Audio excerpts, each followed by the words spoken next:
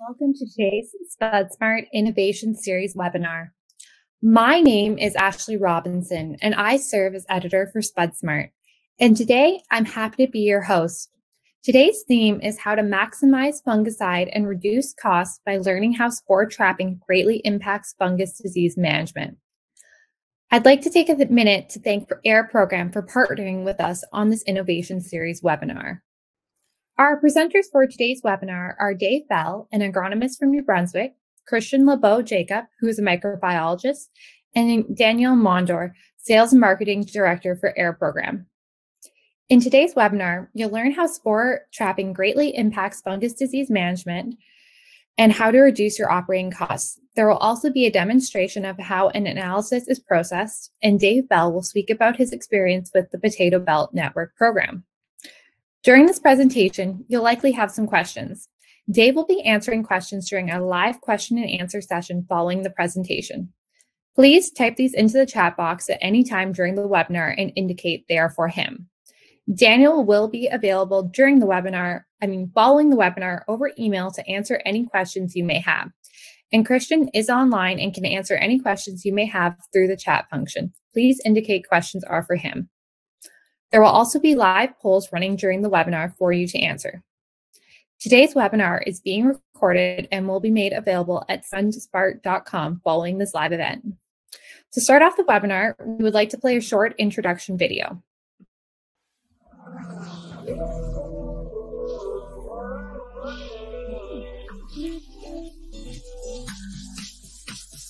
Agriculture today is not like it was in the past. 47% of parasitic diseases are due to mold. All molds are present in the air as detectable spores. At the dawn of this millennium, the AIR program offers an ideal solution, analyzing the air above the fields for improved pesticide management. This Quebec potato grower and his family had more to gain than to lose. They tested the AIR program on parts of their field and still continue to use it. The weather station and the spore traps are part of AIR's mobile equipment. We'll take our sample here. Super simple. Everything you need is here. At the beginning, we provide basic training for using the equipment. Air samples are collected three times a week, ideally in the morning after the dew. We use a trap like this one. In 15 minutes, the air sample is collected and sent to the lab for analysis. A report is delivered within 24 to 48 hours. The idea of identifying spores prior to them showing up in the field is a very good idea. The analysis allows an early detection of the pathogens so that we can make a targeted response with a fungicide or in some cases, no application at all. Without forgetting that the reduction in unnecessary pesticide applications can reduce soil compaction, soil contamination, and other human health and environmental concerns. Through the harvests, producers gain confidence in the efficiency of the AIR program. The results are not long in being felt. The sprayings decrease and the quality of the harvest is improved. AIR upscales pesticide management.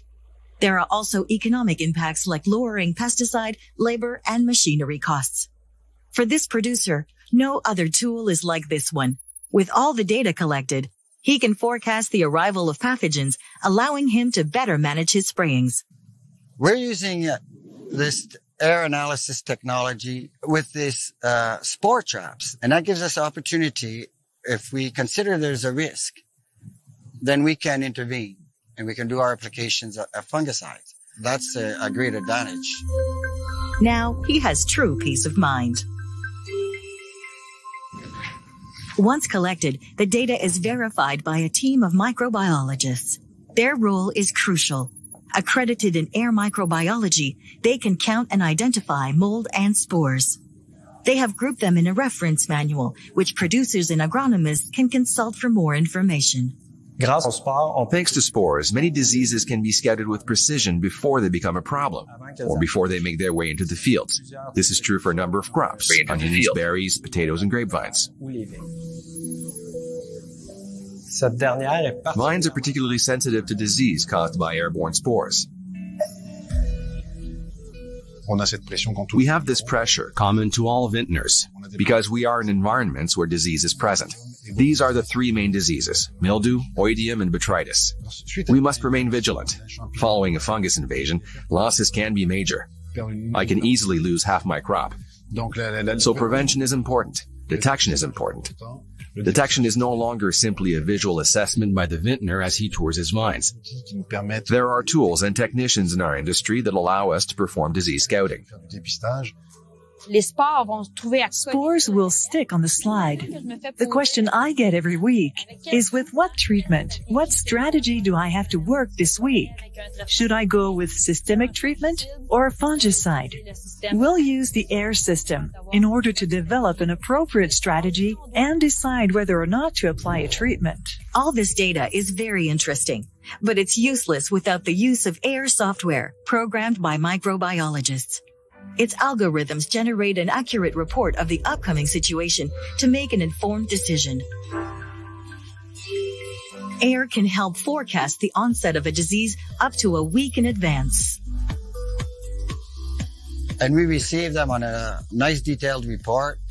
We receive it on by email. It's on your laptop, on your phone.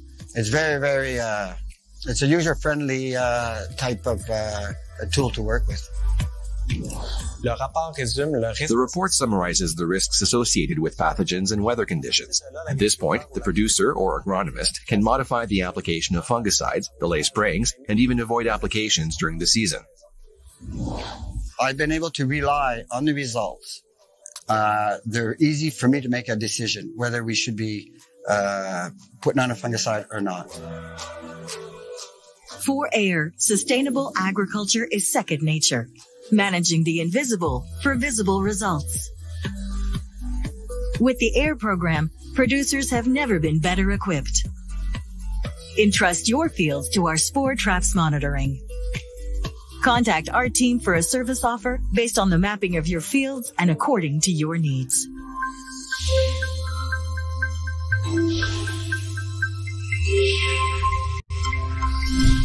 AIR. Less pesticides, more savings. Daniel, please take it away. Hi, guys. I hope you're doing well. Thank you very much for being with us this morning for this AIR program webinar. Uh, I would like to thank first uh, SpudSmart uh, for having putting together uh, the webinar and having their um, their support as well uh, to promote it. Uh, it's always a pleasure for us to share information about uh, our great uh, program, uh, which is a fungus disease detection program, which include uh, spore trapping as well. as Ashley mentioned earlier, our mandate is to protect your crops and to reduce your operational costs. AIR uh, has patent in Canada and USA uh, with over 100 sites North America. It's basically the more used uh, spore trapping program in North America. Uh, the program is composed of two tools, uh, which is spore trapping again and a weather risk indicator. It's important to know that we are not against fungicide. We just believe that we can use them as per needed. Um, we are 100% independent. Uh, we are agro- uh, so we never uh, indicate what to do or not. Uh, as well, we have agronomist partner that can support and help in uh, decision taking. Uh, let's start with spore trapping. Uh, it's a great measuring tool to uh, quantify the invisible, actually. Uh, and in order to include that information uh, in a global strategy, we need to know that uh, spore trapping exists since the 40s. Uh, back in the days, it was not possible to use it on a daily basis because the report were available only after a week or a week and a half. So it was an information to know about, but not necessarily usable on a daily basis. Uh, with the program, we have put it together, uh, which is uh, AirSpore. uh, we can provide the uh, report, so the information within the 24 to 48 hours, which make the operation viable and being able, we are being able to use that information on a daily basis uh, and also include that in uh, the uh, fungicide management strategy. Uh, just to go over the program, we sample three times a week because we have to know that a spore needs between four to seven days to develop as a disease. Uh, if we had the five to seven days to be able to see foliar traces with scouting, uh, we we talk about a preventive program uh, program with something like a week and a half, two weeks um, prior uh, evaluation. So this solution is a revolution because uh, it's definitely a great tool to fight fungus disease, uh, to fight it efficiently. You know, uh, it support concrete action that producers, agronomists, and other uh, group can use, uh, and it gives the possibility to act accordingly to scientific data. As I mentioned earlier, we almost have two weeks uh, prior uh, to the disease, which is a great uh, help. Uh, the action related to uh, the, the program are uh, different and several, you know, because we can act earlier with having that information. It helps also to choose the proper fungicide. it can help also to delay in some time some sprays and even for some producers being able to skip some uh, spraying. Again, we are not promoting to skip fungicide uh, application, but again, working with that information, informing about the needs, definitely help to adjust and to adapt fungicide uh, management strategies. Uh, it's allow also to take science into your strategy uh, with this measuring tool uh, we talk about scientific evidence. Uh, this is, you know, important information you have to put in the mix, you know, and it's also help with image uh, to transformation company as well as end consumers. Uh, let's see right now uh, an important element, which is the fungus diseases development triangle, because you will understand how spore trapping definitely elevates fungicide management. So as you can see on the left, there's three important elements to consider with fungus disease, which are the crop, the weather condition, and the pathogen. And as you can see on the right, the classic weather model most of producers are using right now it's quite limited because it don't take in consideration pathogens in the mix uh, we always suggest to combine tools as well so most of our participants are also using classic weather model. But again using only the classic weather model is really limited. Thank you very much. So with knowing if the pathogen is present, definitely inform and uh, provide uh, information about how we should process and which strategy we should use, you know? So you, we can see example, we can see sometime a uh, weather condition, high pressure, uh, but if the pathogen's not there, you don't hack the same way uh, knowing that the pathogens there without the weather condition, again, you can hack accordingly, accordingly to the real needs. So uh, all these elements have to be taken in consideration for a proper evaluation because again, the classic model is really uh, limited. Uh, let's see now uh, the kind of report we provide, again, three times a week over your cell phone or our platform. Uh, this is for potato as well. We can see four fields. So we cover for potato the most, I mean, the four pathogen the most important. We talk about as well airborne pathogens, uh, Phytophthora, which is late blight, early blight, stem rot, and grey mold. Uh, you can see on the right the two tool we provide, which are the spore trapping. So you can see the actual in white in quantity, which is the sampling information of the last sampling, as well as the two previous sampling. Why? Because for certain pathogen like early blight, there's always some spores in the field. It's when you see a major increase that you have to be alert. You have on the risk, the risk column, the actual, which is the weather risk indicator, uh, as per the last sampling, and the previous, which is the day prior to the sampling. It's really uh, easy to use. There's green, yellow, and red, again, depending of the level of pressure and danger.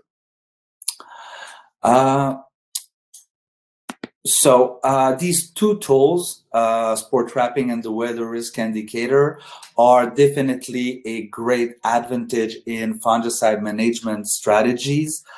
Um, and it's all included. We also uh, include weather station. The, the, data, the weather data is always uh, also available uh, for the producers or the different uh, uh, stakeholder to get.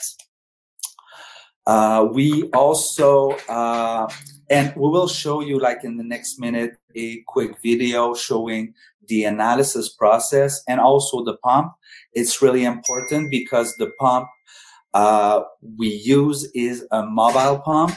Uh, the reason we use mobile pump, it's really uh, easy, is because we take the wind in consideration for having like the most proper sampling possible. And also we do the sampling right after dew in the morning, which is the most uh, dangerous sporulation period for these spores.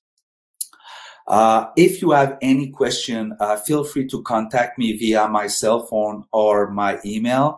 Uh, it will be a pleasure for me to redirect you to the rep of your region and also be able to answer any question you may have. I would like to thank you for your time. Uh, thank you very much. And let's go to this quick uh, lab video. Thank you very much.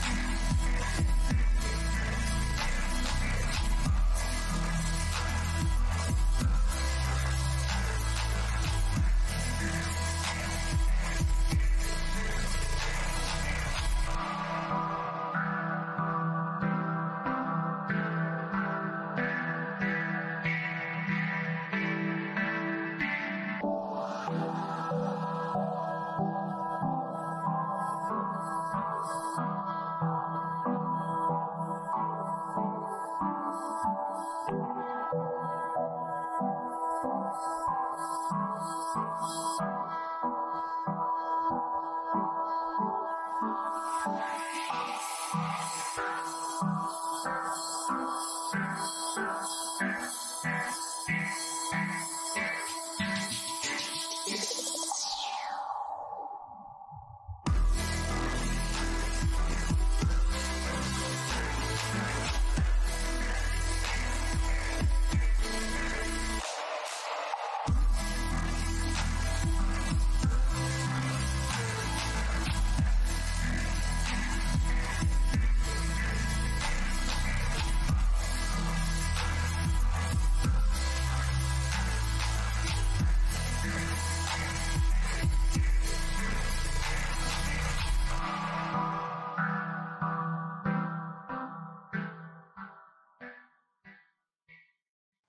Hi, everyone. Uh, my name is Christian Jacob, and we'll use the next 15 minutes to talk about methods we use and, and why we do the things uh, the way we do.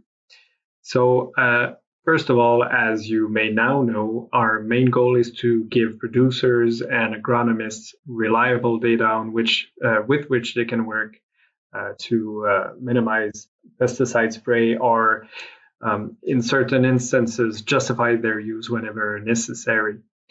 In order to do that, we provide information on weather data and the risk of disease in those weather conditions. And perhaps most importantly, we provide information on the concentration of spores present uh, for targeted disease that are uh, released in air. So, um, first of all, what is a spore? Um, so, a spore is the like the pollen to a plant. Uh, in fact, molds have many features uh, comparable to, to a plant or a tree. Uh, they have mycelium, uh, reminiscent of the roots of a plant. They have a stalk, uh, branching patterns, fruiting structures that hold cells or, or spores in that case. and those spores are released in the air and responsible for the dissemination of the fungus. And that is where we can intervene by uh, capturing those uh, microscopic seeds before they actually cause damage. Uh, this is giving you a window of uh, opportunity to act and, and prevent the disease to take foothold or to progress. So, uh, when talking about disease prevention programs, to be usable, a prevention method must have specific characteristics. It must be uh, simple and reliable, assess risk uh, throughout the season. It must be easily uh, usable in rural settings and offer a quick turnout. Uh, and these desirable aspects were kept in mind along the development uh, process of our program. So uh, when when talking about spore collection strategy, uh, we knew early on that we wanted to ally spore trapping and weather data analysis to have a, a complete and precise picture of uh, of what is the the actual disease pressure in a specific field.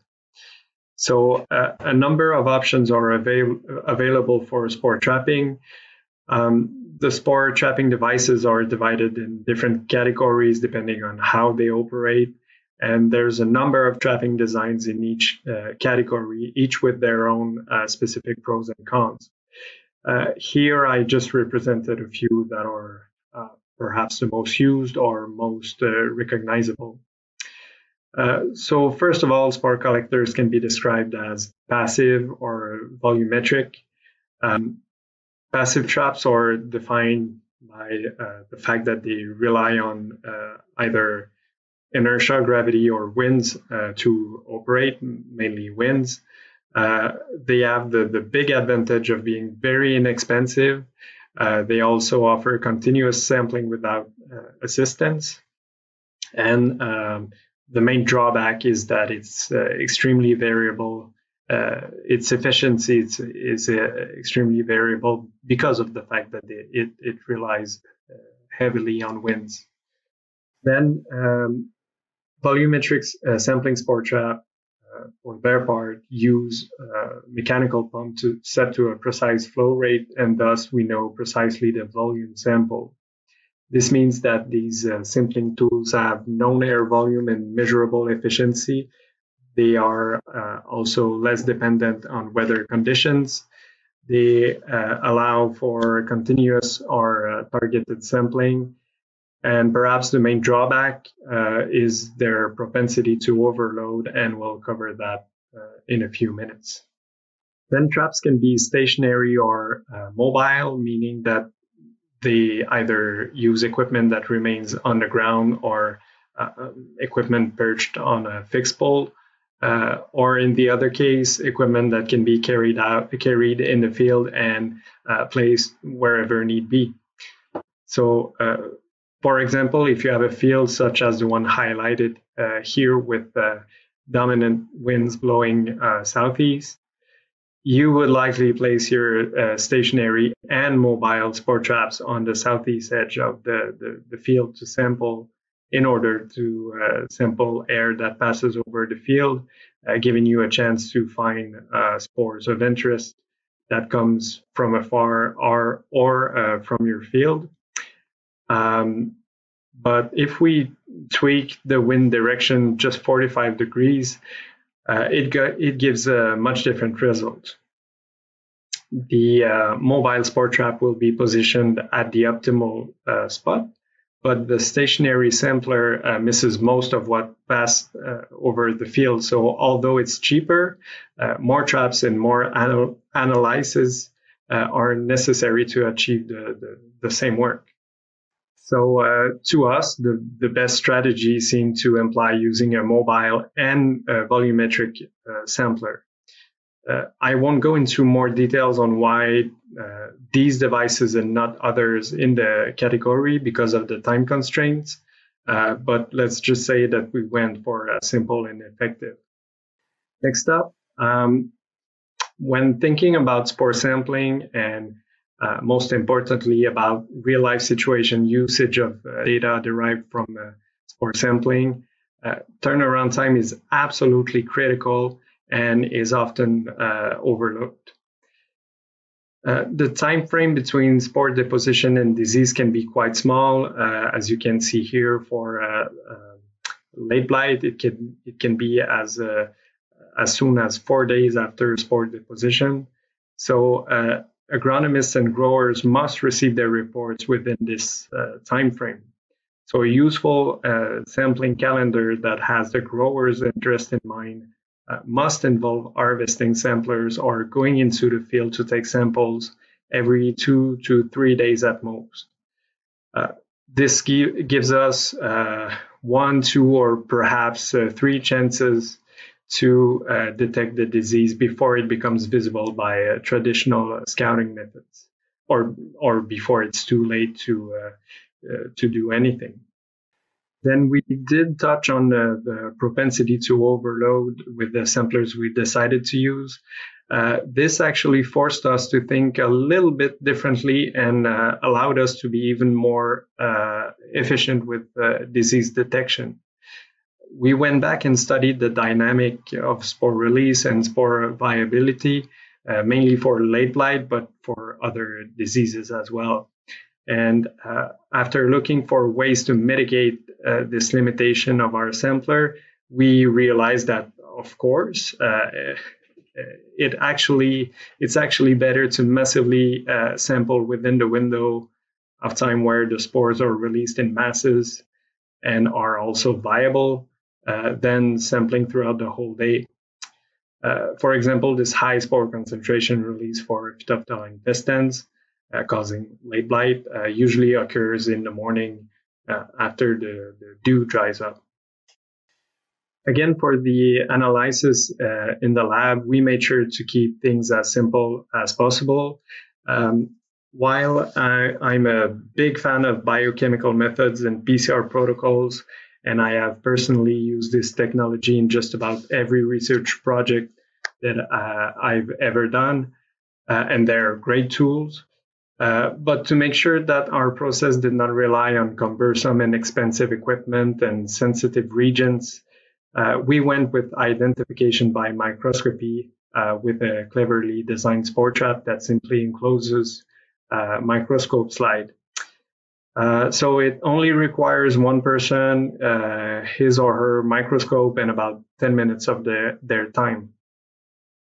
So uh, again, I don't want to go too deep into details, but we gather as much information as possible through uh, microscopic observation and by comparing key uh, traits with known species from the scientific literature, we can assess if the spore of interest are present in the sample or not. Uh, at first glance, this method can seem very challenging given the, the thousands of species of fungus that releases spore in the air, but luckily for us, uh, potato pathogens are, uh, for the most part, uh, quite easy to identify by those means. Now, the weather aspect. Uh, spore uh, analysis by itself is an incomplete story, just as weather assessment alone is also an incomplete story. Uh, much better than, than nothing, but still incomplete. Uh, so to have this disease, of course, you need the presence of a host, the pathogen agent, as well as favorable uh, weather conditions. So all those traits are are uh, equally important. Uh, there are two main ways of uh, approaching weather data: forecasting and simply condition assessment. So for forecasting, in reality, forecasting of disease and spore trapping or for the most part, uh, two measurements of the same phenomenon. Uh, models estimate the likelihood of occurrence of each of the many steps uh, leading to uh, spore germination and plant infection. So those models are often used on their own without spore trapping. Uh, because we are physically there uh, three times a week to trap spores, uh, we shortcut all those variables and, and estimations that are quite complex to manage uh, to verify uh, if the spores are there and, and then we simply assess if the weather conditions present on that given day and in previous days were adequate for, uh, for disease. Then uh, one last point that I wanted to touch is the establishment of thresholds. Uh, while it's very tempting to use specific breakpoints over which an action would be required, uh, there are still uh, way too many variables for any threshold to be usable. Spore density, although a crucial data point, does not correlate with disease severity. It does correlate with disease presence uh, in the field or, or, in the area around the field, but, but not necessarily with uh, uh, severity of the disease. Uh, so any uh, any given number of spore detected uh, is a consequence of, of many variables: canopy density, wind speeds, host susceptibility, soil composition, air air humidity.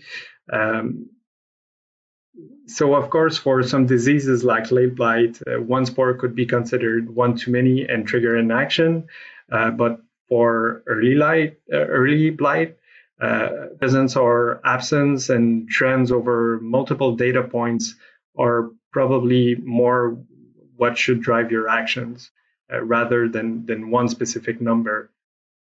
Then, although there are many more subjects uh, to cover and a lot of information to discuss uh, around those points that we touched today, uh, I hope that this quick uh, overview got you all thinking perhaps a little differently about spore trapping and all the variables that come into play.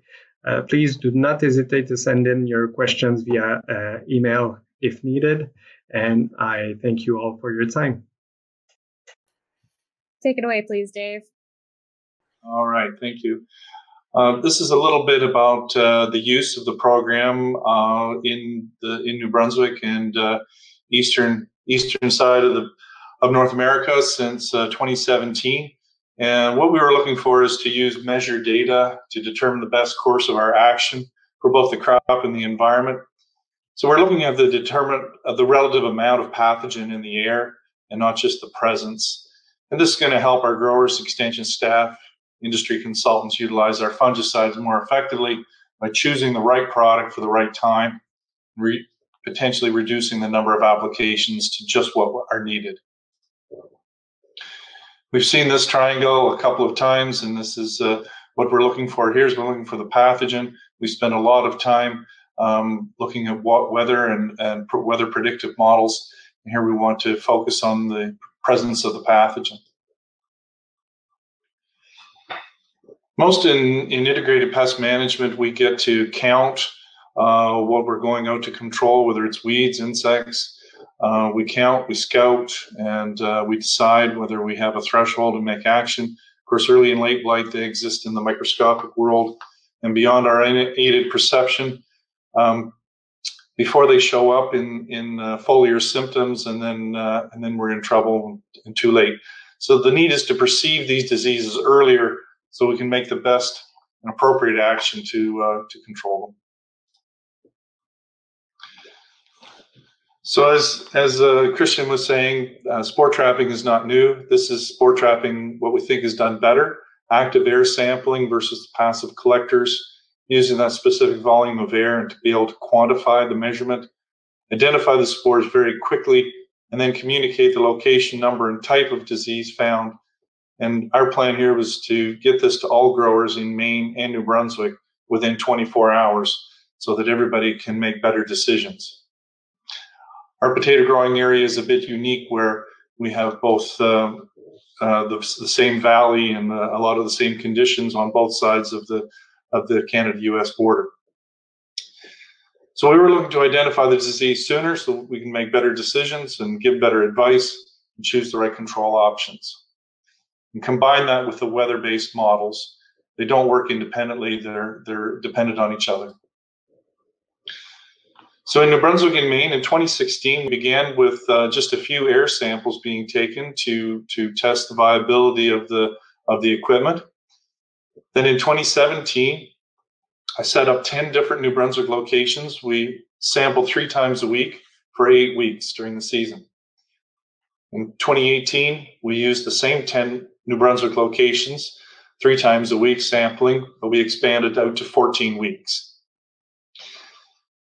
Through this, we've noticed that uh, we really are lacking in data from from the west of us in, in Maine.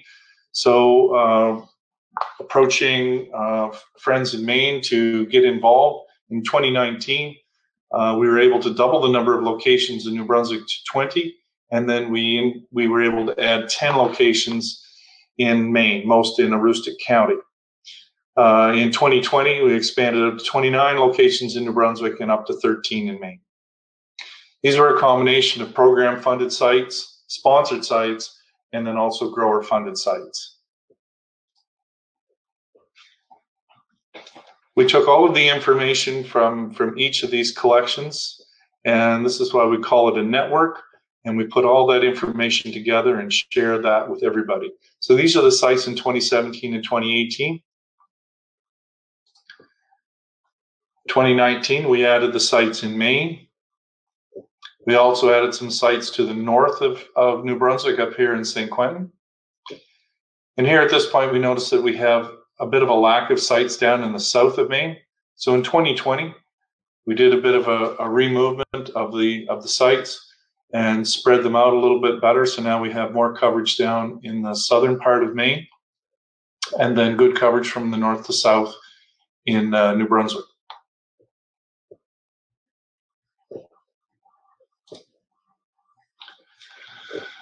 So what we did is that uh, AIR did the, the, the sampling, and uh, every every second day the results were sent out. They came to me, and we organized the data, wrote a short a report on the findings, and then the spore capture findings in the report were sent to Potatoes New Brunswick, which is our uh, grower organization here, where they were translated and uh, emailed out to all growers on the contact list in uh, both French and English. The same information is all shared uh, in Maine. Jake Dyer of um, here, it's uh, he, he's with the Maine Potato Board, organized the data and uh, wrote the report and sent out all the Maine growers. So within 24 hours, all growers in Maine and New Brunswick received the same spore capture information.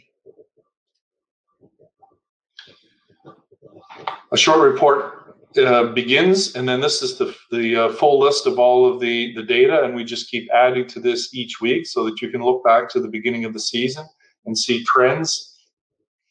Here we're showing the early blight and late blight counts. It's all done by location. So we see the top 20 locations in uh, New Brunswick and then the bottom ones in Maine.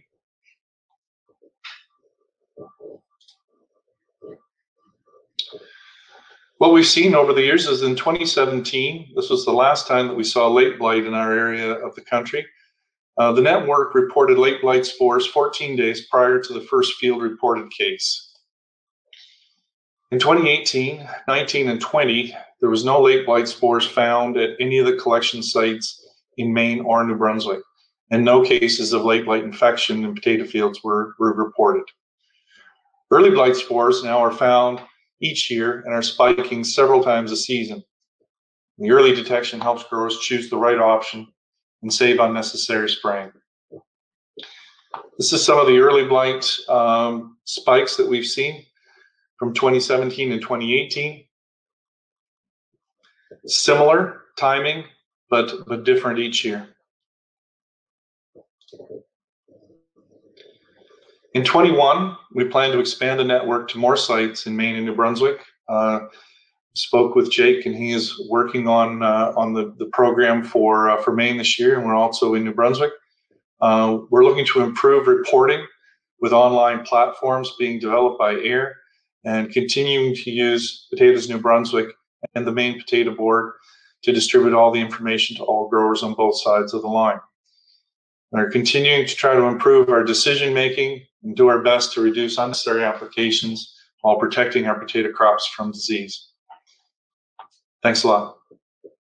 Yeah, Dave. So thank you so much. So first off, maybe I'll just kind of ask a, a, general question. You, um, from what I can see on your presentation, you had some really good results. You guys are getting stuff a bit uh, earlier detected than in the past. But what have you guys been hearing from growers after they've been receiving these reports? What have their thoughts been on um, uh, this information? Okay, in um, surveys done by AIR um, sent out to the growers who have utilized the program and asking them, uh, do they use the, the information to help make weekly decisions on fungicide applications? And uh, I believe Daniel can give a, a, better indication of the number, but a high percentage of growers indicate that they look at the spore capture data and it helps them make the right decision for fungicide that week. Um, in the case of specialized fungicides for early blight uh, versus late blight, um, I know from my experience that it's it, it definitely helps to time these uh, these specialty specialty fungicides uh, to when we're seeing the spikes in uh, early blight spores. So um, yeah, ab- absolutely the very good grower uh, feedback that uh, we have from the program. Thank you. And um, to everyone listening right now, make sure to remember if you have any questions for Dave to get them in the chat box and we will ask them now. So our next question is from Gord Penner and it says, in the years when you found no late blight spores, were you able to get away with no late blight fungicide applications? Uh, that's a great question. Um, that's a very individual choice um, that growers make. I mean, as an agronomist, that's a difficult recommendation to make. Um, but it has certainly allowed growers to make, um, with confidence, uh, bolder decisions on in a seven to 10 day program to be able to stretch a fungicide application out um, and certainly towards the end of the season to um, to stop fungicide applications when the risk is, is very low. So, yes, it does reduce the number of applications um, by lengthening the, the, the spraying interval, uh, and, but it's a very personal decision made by growers. Certainly, it is, it is helping with um, using the the, the more specific uh, fungicides, whether systemics or, um, or super fungicides, for want of a better term, and using them at the right time in the right place. And in the case of low risk, to uh, to go to the, the least expensive and uh, options that are available. So, thank you. Excuse me. Uh, if you allow me to uh, intervene, uh, and thank you very much, Dave. It's definitely the approach we have. Uh, but just for you to know, uh, as per the survey we made from last season, uh, the average, I mean, for most of the average producers in New Brunswick region, they have been able, and again, it depends of many factors, but with the weather condition we had last season, the average producers saved or skipped between two to three application. But again, it's something really personal, uh, and it has to be in a certain conditions. Thank you very much. Thanks, both Daniel and Dave, there. I really appreciate it. And just a reminder, too, if you have any more questions for Daniel, his email and cell phone information is right up there on the screen. And I know he would love to chat with you. Our next question comes from um, James Lee, and it says If you're using protectant fungicides, do you have time to react to finding phytophthora spores in your field? And I'm sorry for my mis- mispronunciation of that Latin name. Dave, do you have an answer for that? Yes. Um, Well, when you're using protectants, um, generally that's on a seven to day, seven to ten day program, and when we see blight spores uh, begin to come in, yes, you do have time to react and to to change to a sporicidal uh, fungicide or uh, a more aggressive fungicide in the case that the risk has has increased. So knowing that it takes um, you know seven to ten days, uh, perhaps a little bit longer, for a late blight spore to um, to germinate and to begin to form a lesion.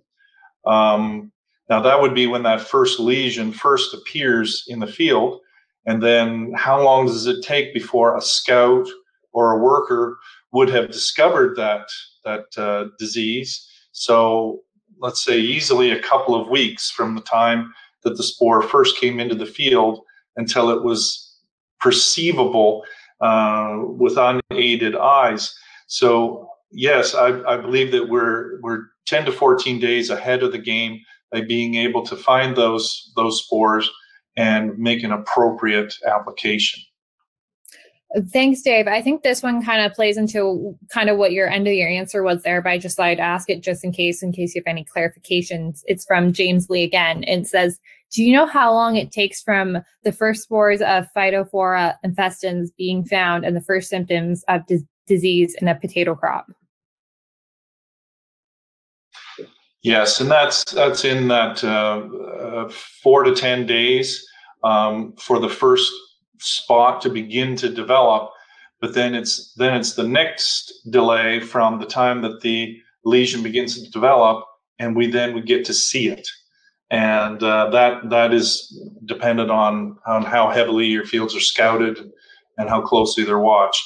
So I think it can easily be 14 days um, from the time that the spores are are in the field until it's perceivable. Okay, that looks like all of our questions. So thank you so much for Dave and Daniel and Christian for all being here. We really appreciate it.